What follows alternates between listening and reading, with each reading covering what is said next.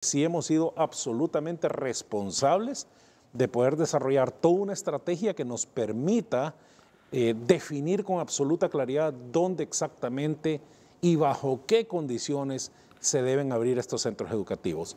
Insisto, la, eh, la apertura semipresencial es un proceso gradual, era importante hacerlo cuanto antes y no solamente es en el, en, el, en el, tema gubernamental, sino que en el no gubernamental. Y por eso don Carlos Héctor nos acompaña también hoy día, porque es importante explicar cómo vamos avanzando en este sentido. Somos complementarios.